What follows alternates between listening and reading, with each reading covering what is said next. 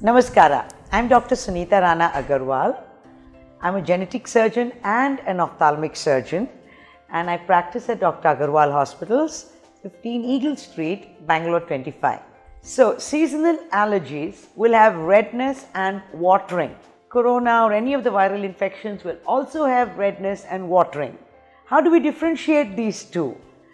If you're exposed in front of an aircon or you go out on the road and the allergy becomes more, the watering becomes more, then we know that that is seasonal. The infection, it's not going to alter. It will be the same inside or outside. There will be redness, there will be watering. Wherever there is a bacterial contamination, there will be stickiness of the eye as well.